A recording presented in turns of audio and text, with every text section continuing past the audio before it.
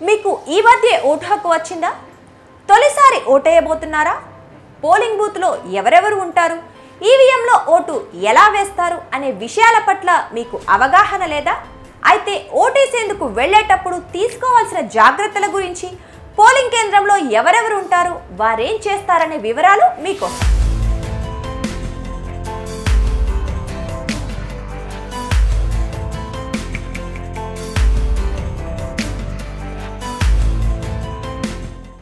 వేయటం మన బాధ్యత. అయితే ఓటు వేయటానికి వెళ్ళే సమయంలో కొన్ని నియమాలను ఖచ్చితంగా పాటించాలి. పోలింగ్ సెంటర్లోకి పార్టీల గుర్తులను తీసుకెళ్ళటం నిషిద్ధం. పార్టీల రంగులున్న దుస్తులు టోపీల్ లాంటివి ధరించిన వారిని పోలింగ్ బూత్లోకి అనుమతించరు.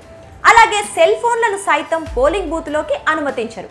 కాబట్టి పోలింగ్ సిబ్బందికి సహకరించాలి.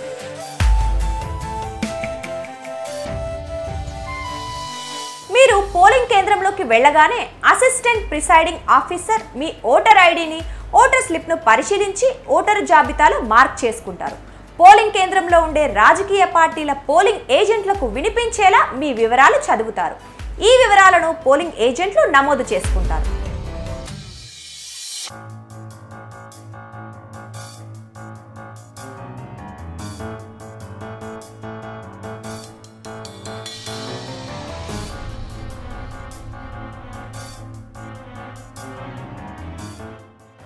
మీకు మరో అధికారి కనిపిస్తారు. ఆయన మీ ఎడమ చేతి చూపుడు వేలికి సిరా గుర్తు పెట్టి ఓటర్ రిజిస్టర్ అని పిలిచే ఫామ్ సెవెంటీన్ ఏలో మీ వివరాలు నమోదు చేసుకుంటారు. మీతో సంతకం చేయించుకొని పోల్ స్లిప్ ఇస్తారు.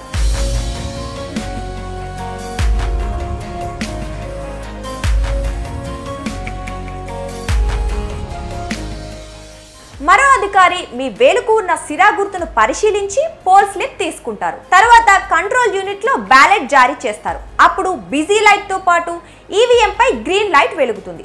ఆ తరువాత మీరు ఓటర్ కంపార్ట్మెంట్లోకి వెళ్ళి ఈవీఎం మీద మీకు నచ్చిన అభ్యర్థి గుర్తుకు ఎదురుగా ఉన్న బటన్ నొక్కాలి. మీ ఎడమవైపు ఉన్న వీవీప్యాట్ చూసి మీరు వేసిన గుర్తుకే ఓటు పడిందో లేదో నిర్ధారించుకోవచ్చు.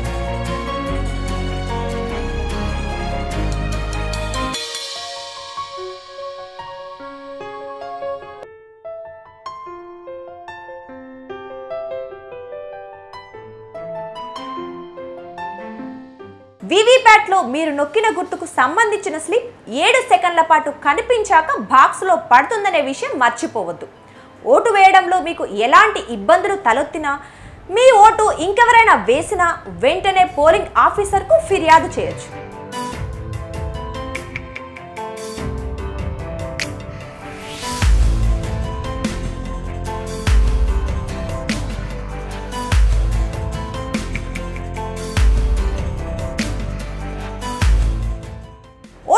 లేకపోయినా Aadhaar card pan card driving licence passport మీ ఫోటో ఉన్న బ్యాంక్ పాస్బుక్ లాంటి వాటిలో ఏదైనా ఒకటి తీసుకెళ్ళి ఓటేయొచ్చు.